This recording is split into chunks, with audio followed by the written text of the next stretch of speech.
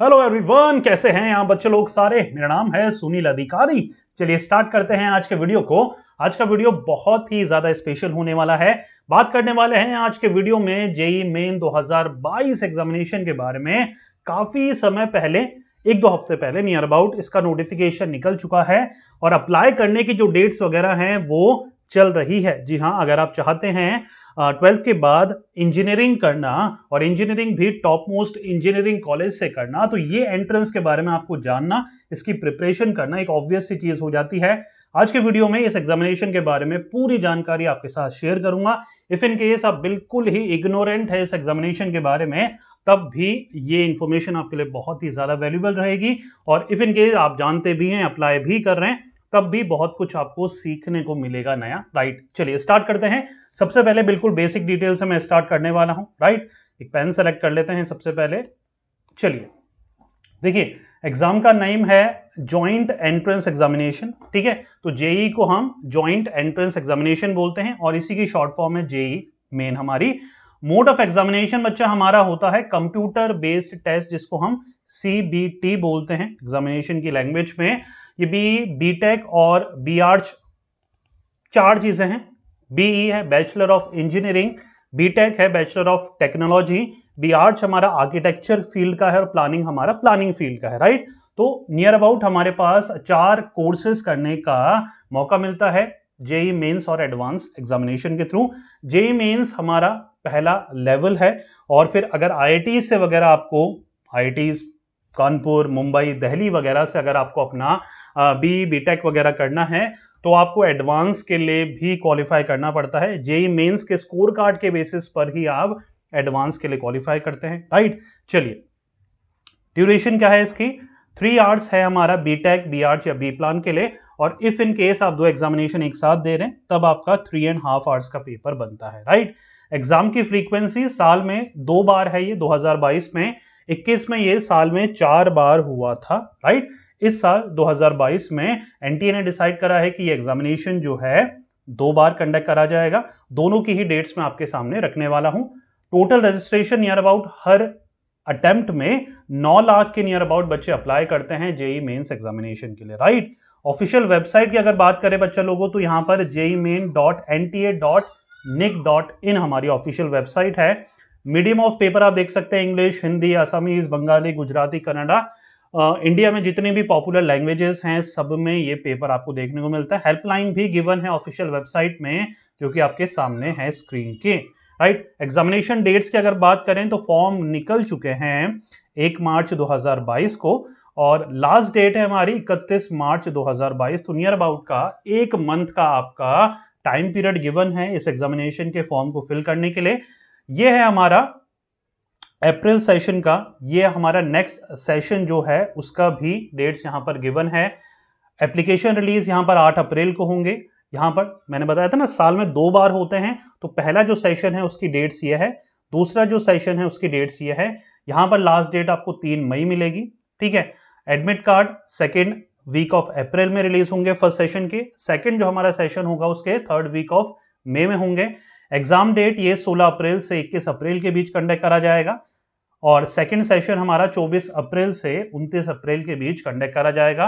Answer की display करना और रिज़ल्ट का जो डिक्लेरेशन है, अभी के लिए नोटिफाई नहीं करा गया है इंटीमेट नहीं करा गया है। जैसे ही होता है तो आपको ऑफिशियल वेबसाइट में वो शो हो जाता है राइट चलिए आगे बढ़ते हैं। सबसे पहले देखते हैं एलिजिबिलिटी क्या है? कौन बच्चे अप्लाई कर सकते हैं? जेई मेन्स 2022 एग्जामिनेशन के लिए एज का अगर क्राइटेरिया देखें तो एज सच कोई यहाँ पर अपर एज लिमिट गिवन नहीं है एग्जामिनेशन के लिए। नंबर ऑफ़ अटेम्प्ट की अगर बात करें तो three consecutive three consecutive year के लिए आप दे सकते हैं। से फॉर एग्जांपल 2022 का अगर आप अटेम्प्ट कर रहे हैं तो अगर आपका जो ट्वेल्थ है वो 2022 में ही होने वाला है कंप्लीट या फिर 2021 में हुआ है या फिर 2020 में हुआ है, तीनों ईयर वाले बच्चे अप्लाई कर सकते हैं। उससे पहले वाले अप्लाई नहीं कर सकते।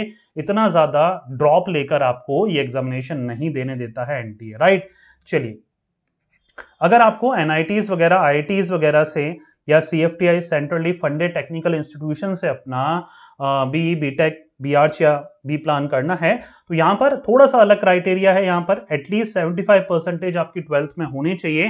या फिर आप 20 परसेंट होने चाहिए अपने रेस्पेक्टिव बोर्ड की कैटेगरी में राइट और अगर हम बेसिक एलिजिबिलिटी की बात करें बीई बीटेक e, के लिए तो आपका टेन प्लस टू में physics mathematics as a compulsory subject आपका होना चाहिए और इनमें से एक आपका एक ऑप्शनल सब्जेक्ट होना चाहिए। इधर केमिस्ट्री हो सकता है बायोटेक्नोलॉजी हो सकता है बायोलॉजी हो सकता है टेक्निकल या वोकेशनल आपका सब्जेक्ट हो सकता है राइट तो फिजिक्स और मैथमेटिक्स कंपलसरी है और इनमें से एक आपका एक नेक्स्ट जो हमारा ऑप्शनल सब्जेक्ट है वो होना ज़रूरी है राइट बी आर्ट्स और बी प्लान की हम बात करें तो यहाँ पर मैथमेटिक्स ट्वेल्थ में होना ज़रूरी है। स्ट्रीम यहाँ पर मैटर नहीं करते एक आर्ट्स वाला बच्चा भी और एक कॉमर्स वाला बच्चा भी बी आर्ट्स या बी प्लान के लिए अप्लाई कर सकता है राइट चलिए एप्लीकेशन फ़ीस की अगर मैं बात करूँ तो यहाँ पर बीई बीटेक e, के लिए बॉयज़ के लिए 650 है और गर्ल्स के लिए 325 है। अगर हम मल्टीपल पेपर्स देते हैं तो 1300 हमारी बॉयज़ की लगती है और छह सौ पचास जो है सिक्स फिफ्टी जो है वो गर्ल्स की लगती है। आ, ये जो हमारा है S T S C PW D और ट्रांसजेंडर का यहाँ पर फ़ीस स्ट्रक्चर गिवन है राइट चलिए एग्जामिनेशन पैटर्न की बात करते हैं। सबसे मेन चीज़ आ गई है हमारी। देखिए यहाँ पर पेपर फ़र्स्ट होता है बीई बीटेक e, के लिए। तो बीटेक का पेपर फ़र्स्ट है आपको दिख रहा होगा यहाँ पर लिखा हुआ बीटेक ठीक है? सेक्शन ए है सेक्शन बी है। तीन हमारे सेक्शन आते हैं बेसिकली मैथमेटिक्स फिजिक्स और केमिस्ट्री बीई बीटेक के पेपर में तीन सेक्शंस का सामना हमें करना पड़ता है। कंप्यूटर बेस्ड हमारा टेस्ट होता है। पहला सेक्शन में ट्वेंटी क्वेश्चन आते हैं और ये दस जो है बच्चा न्यूमेरिकल वैल्यू क्वेश्चन आते हैं। आपको ये कंप्यूटर में टाइप करने पड़ते हैं राइट फिजिक्स में भी ट्वेंटी क्वेश्चन आते हैं। केमिस्ट्री में भी आपको ट्वेंटी क्वेश्चन मिलेंगे। टेन वैल्यू बेस्ड यहाँ पर क्वेश्चन मिलेंगे। थोड़ी सी गाइडलाइंस यहाँ पर पढ़ लेते हैं। Question paper design each subject will have two section her subject में दो सेक्शन होंगे। Section A will be of a multiple choice question and section B will be a certain questions whose answer are to be filled in a numerical value, right? तो ये जो हमारा पहला है section A वो हमारा MCQ based question होंगे। Section B हमारा न्यूमेरिकल वैल्यू बेस्ड क्वेश्चन होंगे जिसकी वैल्यूज़ आपको टाइप कर कर कंप्यूटर में टाइप uh, करनी पड़ेगी। नेक्स्ट फिजिक्स में भी सेम चीज़ें होने वाली है हमारा और केमिस्ट्री में भी सेम चीज़ें होने वाली है। In section B candidates have to attempt any five question out of ten ten question आएँगे, लेकिन आपको पाँच ही करने पड़ेंगे. सेक्शन ए में सारे ही कंपलसरी क्वेश्चन है, लेकिन सेक्शन बी में दस में से पाँच ही आपको करने पड़ेंगे. सेक्शन बी की कोई नेगेटिव मार्किंग नहीं है राइट इनमें से अगर आप कोई गलती करते हैं तो नेगेटिव मार्किंग आपकी कोई भी नहीं है. कुल मिलाकर आपका 90 क्वेश्चंस का सामना आपको करना पड़ता है. अगर हम सेक्शन ए की बात करें तो हर राइट right आंसर के चार मार्क्स मिलते हैं, हर रॉन्ग आंसर के माइनस वन आपके डिडक्ट होते हैं। समझ गए बच्चा मार्किंग स्कीम 90 कुल मार्क्स का हमारा पेपर बनता है, हर राइट right आंसर के चार मार्क्स और हर रॉन्ग आंसर के एक मार्क्स आपका डिडक्ट होता है। सेक्शन बी के कोई नेगेटिव मार्किंग नहीं है। सेक्शन बी की बात करें बी आर्ट्स की बात करें तो यहाँ पर मैथमेटिक्स एप्टीट्यूड टेस्ट और ड्राइंग टेस्ट का हमारा तीन सेक्शन बनते हैं। मैथमेटिक्स में अगेन वही 20 एमसीक्यू 10 वैल्यू बेस्ड क्वेश्चन आते हैं। एप्टीट्यूड में या फिर ड्राइंग टेस्ट में कोई भी हमारे पास यहाँ पर न्यूमेरिकल वैल्यू बेस्ड क्वेश्चन नहीं है। एप्टीट्यूड टेस्ट 50 क्वेश्चंस और ड्राइंग टेस्ट में टू क्वेश्चंस आपके आते हैं। कुल मिलाकर 82 क्वेश्चंस होते हैं। नेगेटिव मार्किंग हमारी सेम रहती है। Plus four for the right answer minus one for the negative answer जो हमारी मार्किंग है there will no marking for the section B same चीज़ें हैं जो हमारे बी बीटेक वाले प्रोग्राम में थी। अगर हम पेपर टू बी की बात करें प्लानिंग की बात करें तो यहाँ पर आपके बेसिकली तीन सेक्शन होंगे मैथमेटिक्स का एप्टीट्यूड टेस्ट का और प्लानिंग बेस्ड क्वेश्चन का। बेस क्वेश्चन मैथमेटिक्स में अगेन यहाँ पर भी न्यूमेरिकल वैल्यू बेस्ड क्वेश्चन रहेंगे दस, जिसमें से आपको पाँच ही करने पड़ेंगे। अगेन यहाँ पर भी आपको पाँच ही करने पड़ेंगे राइट एप्टीट्यूड टेस्ट की बात करें तो 50 क्वेश्चंस यहाँ पर आएँगे 25 क्वेश्चंस यहाँ पर आएँगे। सेम मार्किंग स्कीम हमारी रहने वाली है। सेक्शन ए के सारे क्वेश्चंस आपके एमसीक्यू बेस्ड रहेंगे। नेगेटिव मार्किंग नहीं होगी सेक्शन बी में राइट right? और ये एमसीक्यू बेस्ड ये वैल्यू बेस्ड क्वेश्चंस रहेंगे और कुछ खास आपके इसमें नहीं है। ठीक है, अब बात करते हैं बुक्स वगैरह की राइट right? जैसे कि आपको बताया था मैंने कि मैं बुक्स भी आपको बताने वाला हूँ। डिस्क्रिप्शन जैसे ही आप इस वीडियो का खोलते हैं बच्चा तो वहाँ पर एक लिंक मिल जाएगा आपको। JEE mains slash advance best book लिखी हुई होगी वहाँ पर।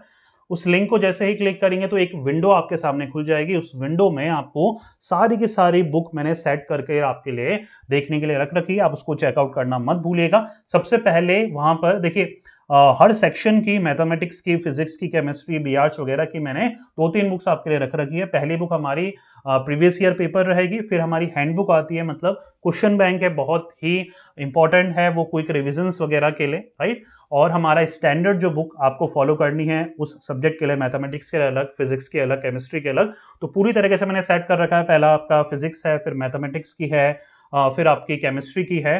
प्लस मैंने बी आर्च वगैरह की भी बुक और ड्राइंग के लिए भी बी आर्च में जो ड्राइंग आती है, उसके लिए भी बुक्स आपके लिए मेंशन कर रखिए चेकआउट करना मत भूलिएगा, बहुत ही इंपॉर्टेंट है।